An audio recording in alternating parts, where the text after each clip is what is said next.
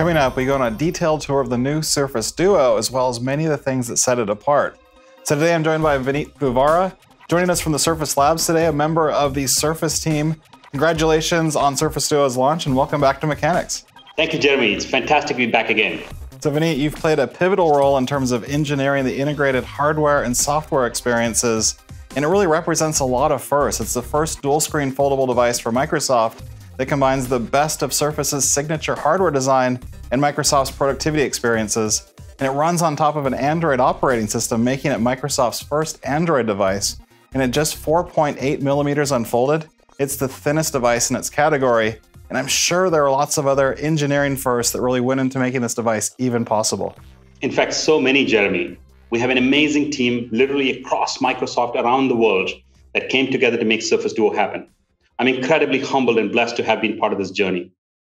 There isn't a single part on Duo that we have not labored over, from the displays and the hinge to the software experiences, all the way to finding the right center of gravity for the device as you use Duo in multiple modes. And the hardware and device experience, I think, really brings the Surface Duo to life. It does.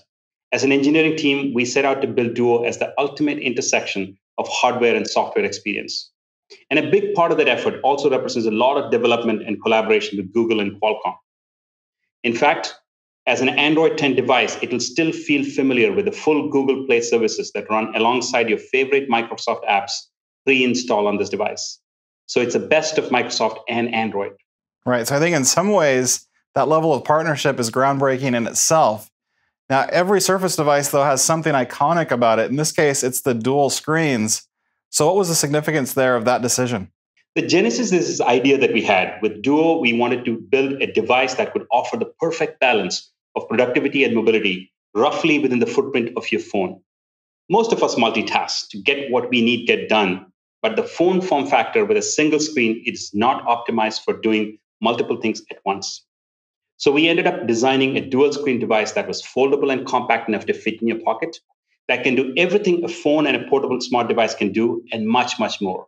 When we focused on building the most delightful Microsoft experience possible, the Android operating system also allows us to reach as many people as possible with this device. In our user research and ergonomic studies on dual screens, we saw a significant decrease in the mental effort required to multitask when you are actually using a dual screen.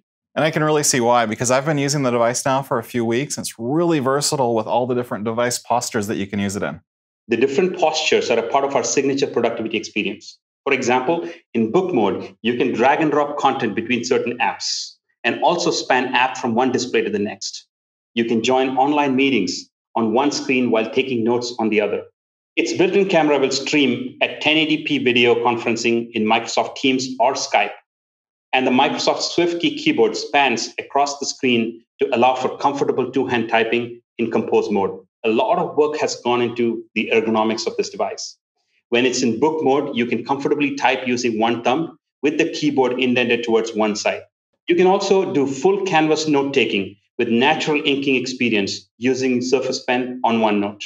And using our SDK, developers can optimize app experiences for dual screen. In Outlook, for example, you can quickly triage emails across both the screens. And those enhanced apps, they bring out the most of Surface Duo's foldable design. But now you showed us pen and inking, and that's really a signature experience when you think about Surface running on Windows. But how did you bring that over to an Android OS? Jeremy, you know I love that question because designing pen and inking experience is close to my heart. Having worked in that area for many years in the Surface team, we basically added a digitizer layer that hooked into Microsoft Pen protocols. We use Microsoft's proprietary G5 controller to enable seamless touch experience and inking experience along with two screens and various device postures. And we also developed a new machine learning pen tip based algorithm to ensure that pen can interact with Duo while in hover mode. Outlook email is a great example. And that's great. But what other experiences then light up in terms of the various postures that you can use it in? In fact, many. It's all part of how we think about making Surface Duo a productivity device. For example, in tent mode, you can watch a video. And with our combined hardware and software design, you see a deeply integrated Microsoft launcher. And of course, you can sync the Duo with your Your Phone app to use it with your Windows 10 device. So, really, a lot of versatility. But what were some of the engineering challenges then in building this? By far, one of the top engineering challenges that we had to face was to achieve the unfolded thickness of this device, which at 4.8 millimeters left us with very little space. If you subtract the display and the cover glass, only about 3.7 millimeters is left for the internal componentry, from the actual motherboard to the batteries, appropriate cabling for transfer of power and data, and the hinge itself. Of course, as we addressed the space challenge, we also needed to make sure that Duo was robust and reflected the premium feel that you would expect from a Surface device. Right. So, what design decisions then did the team end up making here? We literally had to re engineer our manufacturing process at a micro level with precision robotics so that we could carefully optimize space and durability. You will notice that with the dynamic 360 degree hinge, the screen is on both sides of the device, and it totally redefines the concept of front or back of the device. We use Gorilla Glass 5 on both sides, featuring 2.5D glass, which is ultra thin at 0.4 millimeters. We combine this with a polymer stainless steel and aluminum composite frame construction to provide strength while keeping the overall weight to just 250 grams. But core to everything is our dual architecture and mechanical design. Each screen has a PixelSense AMOLED 1800 by 1350 resolution that can go into a luminance of up to 600 nits for improved outdoor visibility. And with a combined 8.1 inch display unfolded, it is larger than the iPad mini. So, how does the dual screen architecture then impact the internals? So, there's a great engineering story here. Dual topology is an important part of the innovation for Surface Duo and how we have synchronized two visually perfect displays to work as one. This dual topology was also critical to helping us pack everything that we needed inside the device while delivering an overall device experience. In fact, to customize the dual topology architecture, we developed a single motherboard architecture that distributed across both sides of the device, increasing the density of the electronics while improving overall thermal performance. Surface Duo drove us to split the battery into asymmetric cells, requiring us to independently charge and charge balance the two cells. The architecture on the Duo allows left and right cells to also independently power systems on either half and also come together to act as one battery to meet the demands of the processor as it runs multiple apps simultaneously. And I can really see how these decisions then would help optimize for space, but what did you do to coordinate then both sides of the Duo? So, making Duo posture aware was a unique area of innovation for us too. The dual accelerometers, dual Hall sensors work in unison to precisely identify the device posture. Of course, the microphone itself is a sound sensor, and the dual microphones provide for optimal audio pickup and noise cancellation. Whether you are video conferencing in book mode or you're making a phone call when the device is folded over. Okay, so performance and mobility are packed in really by design. But given that we've looked at the internal componentry, now might be the time to actually start talking about the specs of the device. Sure. As we brought Duo to market, we went with the time tested Qualcomm Snapdragon 855 processor optimized for dual screen productivity. It has 6 gig of RAM designed to meet the needs of demanding productivity based experiences. We also give you a choice between 128 gig and 256 gig storage, both running UFS 3.0. Duo has integrated Bluetooth 5.0 to easily connect your favorite accessories. It also uses Wi Fi 5 along with 4G LTE Advanced. Carrier connectivity is via Nano SIM, and it uses USB C port for charging and to connect to accessories. So, how does it do then on power? Great question. Duo actually gives you an all day battery life. For example, you can play 15.5 hours of local video playback. It also supports fast charging via the included 18 watt power supply. Okay, so let's move on to the hinge because I know the Surface team is known for its hinge design and most famously with things like Surface Book. But the Duo's thin profile must take hinge design to a whole new level. So, what I like is that it's a full friction 360 degree hinge, unlike the 180 degree devices that we see in market today.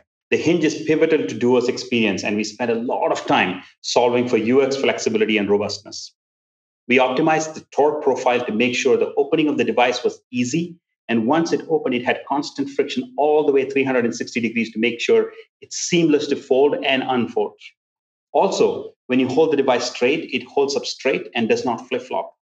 We developed four custom profile micro gears with offset idlers in the hinge that helps with timing. 56 micro coax cable bundles interconnect the system through the hinges, and each of these cables comprise strands thinner than human hair. So this is pretty advanced stuff, but if we step back a little, it's fair to say that there's a baseline of engineering that really goes into making Surface Duo a Surface device, especially when it comes to things like manageability and security. There is. With all this mobility and productivity with Surface Duo, defense in depth is built in by design. On the edge of the Duo, you will find an enterprise grade biometric fingerprint sensor for multi factor authentication. What sets it apart even more is what's on the inside. It's a layered approach to security from the chip to the cloud, from Microsoft UEFI firmware, DMCrypt drive encryption for storage, system updates from Microsoft, built in information rights management, and SSL 3.0 for data transmission at both the data and networking layer. Right, and it's also easy to deploy and manage Surface Duo using Microsoft Endpoint Manager or your favorite MDM solution with flexible management to suit your needs. That's right. For example, if you want to prevent data sharing between managed apps and unmanaged personal apps, you can do that. This means if a user tries to copy data from a work app and paste into personal app, they can be stopped. Or if you've designated Duo as a company owned device, you can get complete control over the installed apps with the option to full device wipe and more. And if you want to learn more about how to manage Surface Duo, you can check out aka.ms slash Surface Duo Management so thanks, Vineet, again for joining us today. It's been a pleasure, but where can people go to learn more? First of all, I'm happy to announce that Surface Duo is available today. To learn more, go to surface.com. Also, if you're a developer, we invite you to start building enhanced app for Surface Duo that takes advantage of the dual screen experience at aka.ms slash Surface Duo Dev. Thank you for having me. Thanks again, Vineet. And of course, keep checking back to Microsoft Mechanics for the latest updates. Hit subscribe if you haven't already yet. Thanks for watching. We'll see you next time.